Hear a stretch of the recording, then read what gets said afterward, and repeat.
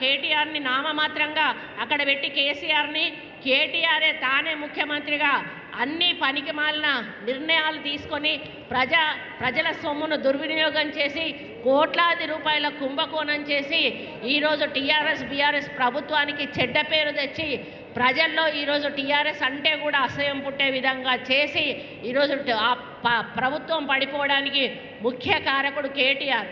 మరి నోరు మూసుకొని ఊకోవాలి కదా. ఇప్పటికైనా ఓడిపోయినాం. మేము తప్పు చేసినాం కాబట్టి మమ్మల్ని ఓడగొట్టారు ఒక ఐదు సంవత్సరాల కాలం మరి ఈ అధికారం చేస్తున్న కాంగ్రెస్ పార్టీని వాళ్ళ పని వాళ్ళని చేసుకొని ఇవ్వాలి ఐదేళ్ళ తర్వాత వాళ్ళు ఏం చేశారో ఏం చేయలేదు. అప్పుడు ప్రజల ముందుకెళ్ళి ఓట్లు అడుగుదామనేటువంటి సోవి కూడా లేకుండా మనం గెలిచిన తెల్లారి నుంచే మన మీద విష ప్రచారం చేయడం ప్రారంభ ప్రారంభం చేసిండు. ఆయనకి ఎక్కడ దిక్కు దోచడం లేదు. పదేళ్ళ అధికారంలో మరి ఒక అనుభవంతో ఉండి అంటే అన్- అధికారాన్ని అనుభవించి ఒకటేసారి అధికారం చేతు జారిపోయే వరకు పిచ్చెక్కి ఏం చేస్తున్నాడో అర్థం కానట్టు పరిస్థితి ఉంది. ఆయనకి ఎటు చూసినా ఏం దొరుకుతలేదు. అటుపోయి ఇటుపోయి హైడ్రా అంటాడు. అటుపోయి ఇటుపోయి మూసి అంటాడు. అరే బాబు మూసి గురించి నీకు తెలియంది ఏమున్నది? చేసిందంతా నువ్వే చేసి ఈరోజు కాంగ్రెస్ మీద నెట్టి మూసి మూసి అని చెప్పి మూ మూసి నిర్వాసితులను ఈరోజు ఎందుకు నువ్వు రెచ్చగొడతా ఉన్నావు అని చెప్పి సందర్భంగా అడుగుతా ఉన్నాను. సరి అయిన కారణాలు చూపెట్టండి.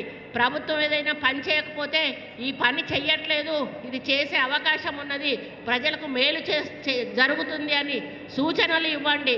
అంతేగాని ప్రభుత్వం చేస్తున్న మంచి పనులను ఇబ్బంది కలిగే విధంగా అడ్డుకుంటే మాత్రం సహించేది లేదు అని చెప్పి ఈ సందర్భంగా ఈ వేదిక మీద నుంచి కేటీఆర్ని హెచ్చరిస్తూ ఇప్పటి నుంచి అయినా కూడా ఒళ్ళు దగ్గర పెట్టుకొని ఒళ్ళు దగ్గర పెట్టుకొని ఆలోచనతోటి ఏ నిర్ణయమైనా తీసుకొని ప్రతిపక్ష నేతగా మంచి ప- పరిపాలన మేము అందించే దిశగా సలహాలు సూచనలు ఇవ్వండి.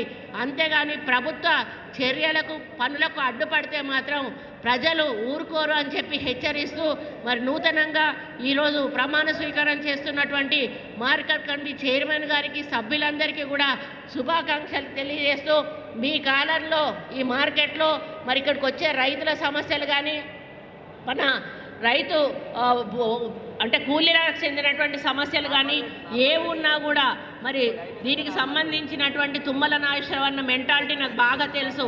ఆయన ఏదైనా కూడా తనది అన్నట్టే తన సొంతం అన్నట్టుగానే చేస్తారు. ఈరోజు ఆయన డిపార్ట్మెంట్ మీద ఆయనకున్న పట్టు ఎవరికి కూడా ఉండదు. గతంలో కూడా